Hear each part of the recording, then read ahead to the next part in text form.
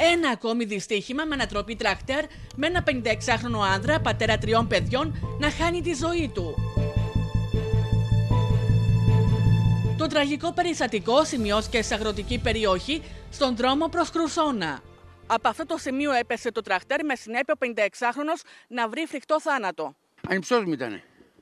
Της αδερφή μου ο γιος ήταν. Πήγαινε να κάνει ένα χωράφι, τώρα δεν ξέρω. Αυτό από χθες βράδυ τι- τι- τον χάσανε. Από τις 9 μέχρι 10-11 η ώρα.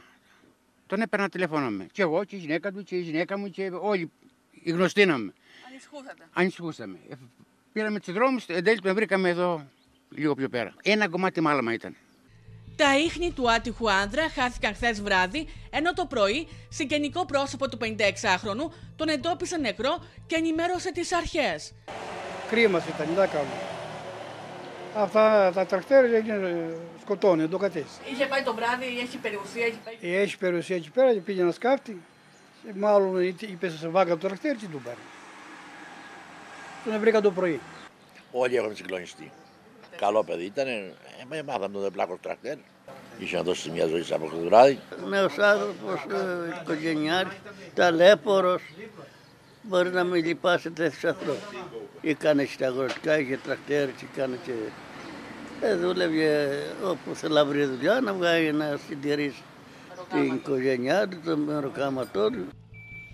Στο σημείο έσπευσαν τρία οχήματα της πυροσβεστικής υπηρεσίας με 10 άνδρες, καθώς και ασθενοφόρο του ΕΚΑΒ. Όμως ήταν ήδη αργά.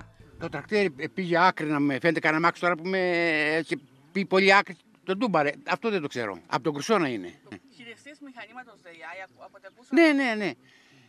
Και Ήταν ένας πολύ καλό. Το τρακτέρ το έκανε κομμάτια, κομμάτια. Και το έφτιαχνε ο μοναχός του. Τόσο μυαλό ρε πριν είχε άνθρωπος. Και καλός οδηγός στα μηχανήματα του ΔΕΙΑ, αυτός το οδηγούσε. Τα πάντα. Πληροφορίες αναφέρουν ότι υποχώρησε το έδαφος την ώρα που 56χρονο εκτελούσε εργασία σε χωράφι, με συνέπεια το τρακτέρ να ανατραπεί, ωστόσο οι ακριβείς συνθήκες του δυστυχήματος διερευνώνται από την αστυνομία.